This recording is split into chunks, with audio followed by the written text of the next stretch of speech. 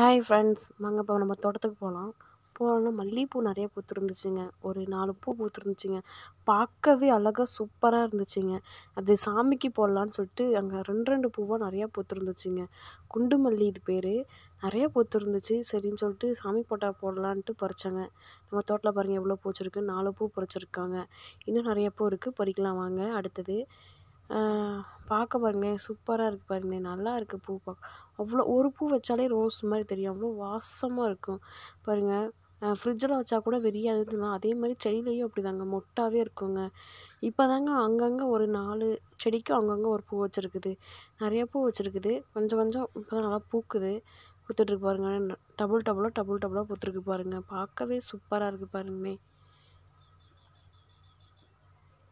நிறையா பூ இந்த மொட்டு வச்சுருக்கு பாருங்கள் இந்த பூ பிடிச்சிருந்தா கமெண்ட் பண்ணுங்கள் சப்ஸ்கிரைப் பண்ணுங்கள் மறக்காமல் பாய் டாட்டா